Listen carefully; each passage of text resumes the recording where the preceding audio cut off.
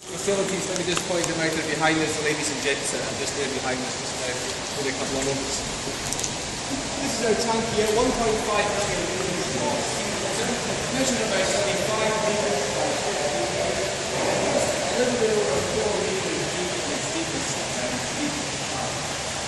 And over the years, we've used this for many, many applications.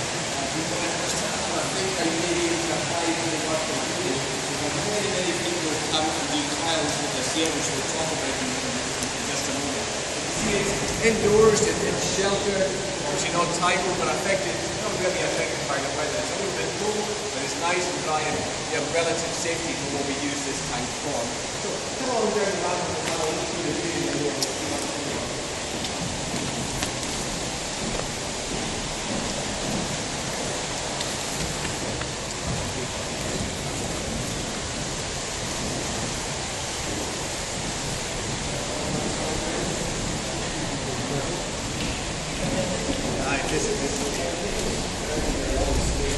Oh.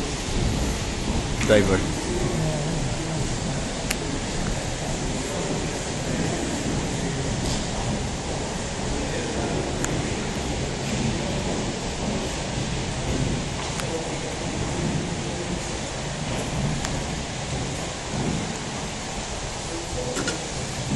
Uh, is this one of the lift balloons or something?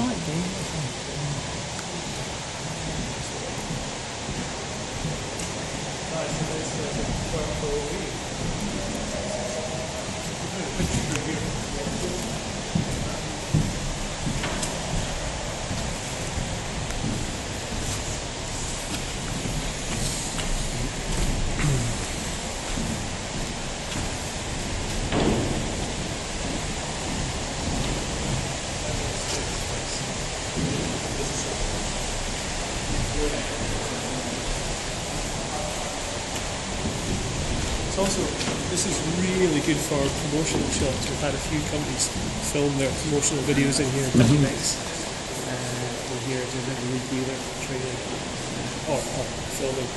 Uh, Oris filmed their, their Divers Watch Oh. commercial in here. Yeah, it's it looks perfect. Is one of the, this is the largest of the three viewing uh, windows that we have in the tank here. And you can see how we, um, we can use it just now. What you see going on there, some of you may be familiar with diving operations. Uh, a surface applied uh, diving operation going on there just now. You see the umbilical having the gas supply down from the surface to the diver, wearing a Kirby Morgan Model 37 uh, and a dry suit to keep him protected from the, uh, from the cold water. So what he's doing there is a, a rigging um, exercise using an underwater uh, lifting bag, a relatively small, uh, small lifting bag.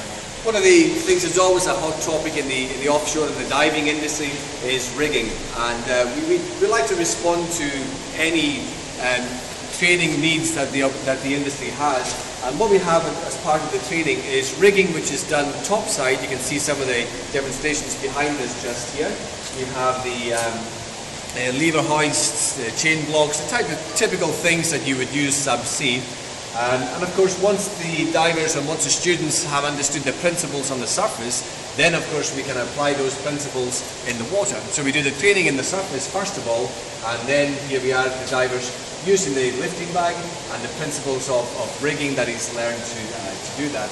So uh, for this, one of the things that we do with the tank is we use it for the initial part of our commercial diver training. But let me explain some or mention some of the uh, trials that we've used the tank for as well. But many, many clients use um, use our, our facilities.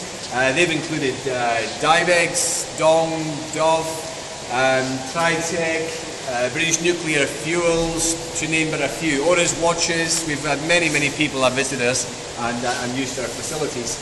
Uh, for example, the British Nuclear Fuels one, um, they wanted to train their ROV pilots to remove um, some of the um, rods which were in the reactors. So we built, using our dive team, we built what simulated that reactor, and then they took their vehicle and their staff in, and they flew their, their ROV down, and they practiced with them removing those, uh, removing those rods.